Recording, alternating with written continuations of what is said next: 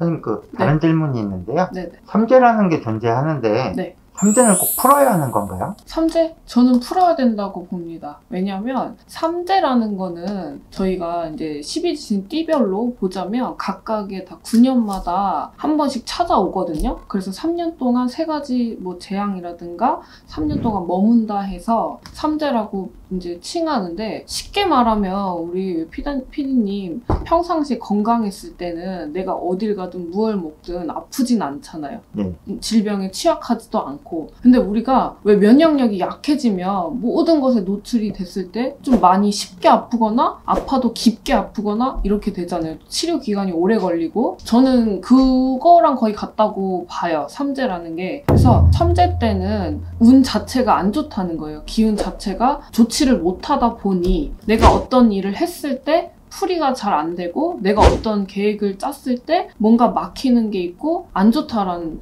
거 보여지거든요. 그래서 삼재 같은 경우에는 이렇게 들어오는 그 삼재 같은 경우에 생일달이 좀 빠르신 분들은 미리 치고 들어와요. 그러니까 올해는 아직 소띠랑 뱀띠랑 닭띠가 나가는 삼재에 해당이 되는데 내년에 삼재 그 띠가 바뀌어요. 네. 원숭이띠, 쥐띠, 용띠 이렇게 바뀌는데 그 분들 중에서 그 생일달이 조금 빠르신 분들은 올 가을부터 찬바람이 불기 시작할 때부터 삼재가 좀 미리 들어오는 분들도 있어요. 이거는 모든 띠에 다 해당이 되는 건 아니지만 그렇게 일찍 들어오시는 분들도 있다라는 거예요. 그렇기 때문에 그 분들 중에서 내가 내년에 뭐 앞두고 문서 변동이 있다든가 아니면 뭐 사업을 해야 되는데 뭐 확장을 한다든가 사업을 새로 한다든가 뭐 내가 큰 시험을 앞두고 있다든가 결혼을 앞두고 있다든가 뭐 이런 큰 일들 있죠. 그런 큰 일들을 좀 계획을 하시고 계신 분들이라면 우리가 왜 호미로 막을 거 가리로 나중에 막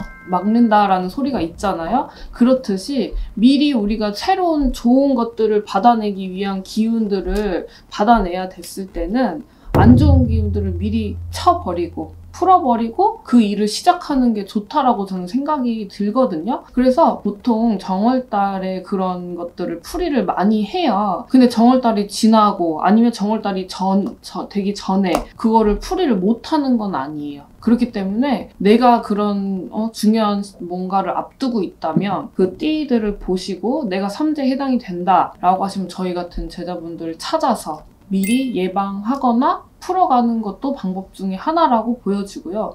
요즘에는 유튜브 이런 것들이 굉장히 많이 발달이 돼서 오히려 손님들이 더 이런 영상을 보고 저희들보다 이쪽 계통의 지식이 굉장히 많으신 분들이 많아요. 근데 뭐 소띠라고 해서 예를 들자면 소띠라고 해서 다 소띠들이 똑같은 삶을 살지는 않잖아요. 예. 직업도 틀리고 나이도 틀리고 생일도 틀리고 살아오는 환경도 다 틀린데 소띠가 예를 들자면 뭐 재물운이 오래 없을 거예요 라고 하면 그게 다 100% 맞지는 않을 거예요. 그렇기 때문에 내가 아까 말했듯이 중요한 일을 앞두고 있다면 이렇게 직접적으로 전문적으로 신점이라든가 뭐 이렇게 상담을 통해서 내가 좀 앞에 삼재를 좀 잘 3년 동안 평탄하게 갈 수 있는 방법을 찾았으면 좋겠어요. 네, 알겠습니다. 네.